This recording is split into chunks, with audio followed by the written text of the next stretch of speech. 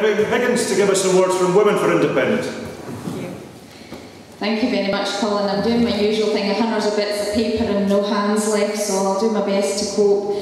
This weekend, I've been out with Women for Independence. We're campaigning in communities all around Scotland. We've over from a standing start a little over two years ago, we now have over 40 local groups and, um, and more groups being sprung up all over the Yes movement and all over Scotland. And we are out there this weekend campaigning for a fairer deal for women because the truth is women have not had a fair deal for women. And one of the things that the polls have shown is, which we knew right away at the beginning of this campaign, um, right the way back when Yes Scotland was, was launched, was that women would take longer to make their minds up how to vote. And that by talking to them, being out in the doorsteps as I have this morning, and as many of you have been over the last few months, we know that they want to vote yes, but. And it's the but which I want to try and address.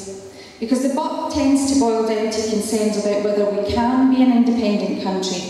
Can we afford it? Would all that upheaval be worth it? And if you're a woman with a but, ask yourself this.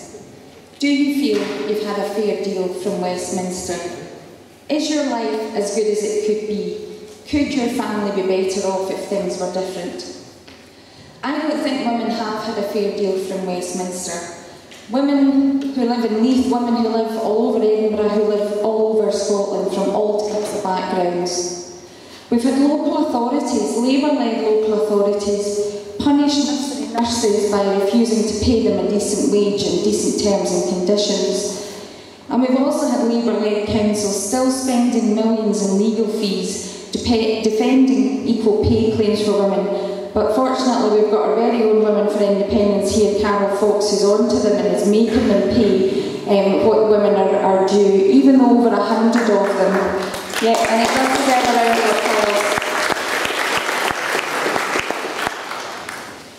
Even though over a hundred of them have died waiting for their equal pay claim to be settled.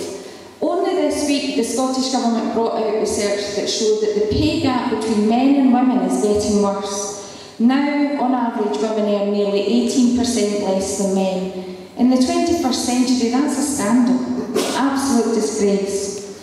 I've also seen how, um, and I know that in, in councils all around Scotland as well, in Labour-led councils, we've seen them implement policies that actually positively harm women and their children. The refusal, for example, to implement the government's free school meals policy, and they're still dragging their heels on that. They're also dragging their heels on implementing the free childcare and early learning places. Labour believes that you should vote no and settle for only a little more. More free childcare, better pay. It's all good, but it's not good enough. I don't want pay gaps for women. I want the equal pay promised to women 40 years ago to become a reality. I want free childcare as a right, as an acknowledgement that investing in childcare is not only an economic benefit, but it's good for children, good for their parents, and good for society. I'm tired of waiting for the UK to make good on its promises for women. Things are worse now for women than they've ever before in my lifetime. Three, three quarters of Westminster's near 15 billion of austerity cuts have hammered women and children's incomes. We are paying the high price. Women are paying the highest price for bankered folly and to shore up an economic system that doesn't even see fit to reward them fairly. It's not just younger women, older women too, who are being hurt. They face the whammy now of reaching retirement older, still with compromised state pensions thanks to the WE stamp national insurance issue, and smaller private pension pots because they dared to take time off work to raise their children. They are experiencing not just fuel poverty in an energy-rich country, but now also food poverty in a state which squanders billions on weapons of mass destruction. I want women in Scotland to have better, a fairer deal. I want to look forward to better and fairer in my old age, which is hurtling rapidly towards me. And I want better for my sons and the women they take into their families and make their own lives with. We can have a fair and better deal for women, but only if we vote yes. We can have a written constitution which enshrines equality for women for all time. In a few simple sentences, we can change the culture of 300 years, ensuring that future generations of women benefit.